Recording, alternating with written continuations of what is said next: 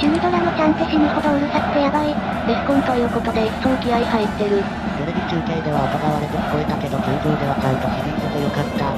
この球場を交流戦で初めて中継で見たんだけど、めちゃくちゃ応援歌が響くよね。特にビジター。レクドラの皆さん歌うますぎ、めっちゃ声伸びてる。これは最大級の褒め言葉。ガチで中日声でかいよな。ほんま声出てよろしい。中日ファン、熱いから好きよ。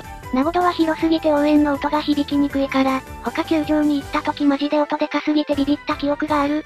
普段名護で鍛えてる連中は声量が違うのかな？はあほんま決めてくれちゃんってくっそかっこいいし、北海道とかいうクソンリッチでこの声量ほんま笑う。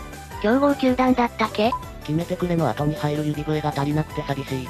またハマスタで響かしてくれ。決めてくれ？の声量ビジターじゃなさすぎる。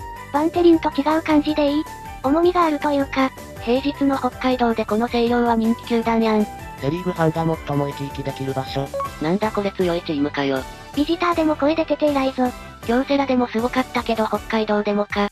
中日ドラゴンズマジどこもビジターやばいな。なんで最下位やのにこんだけ声出せるんやと毎回疑問。中日ファンの声量すごいよな。